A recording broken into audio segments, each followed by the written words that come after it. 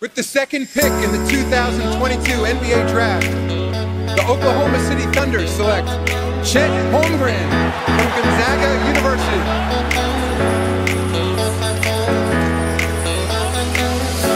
Chet Holmgren.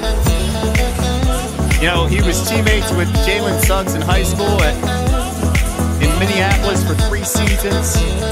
Getting the hug from his dad. And his dad, of course, very famous for that camcorder.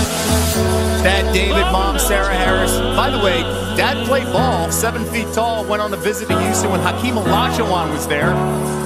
He later would go to Minnesota. Bad knees were the problem, but right now, Chet Holmgren, you're going to hear this word a lot.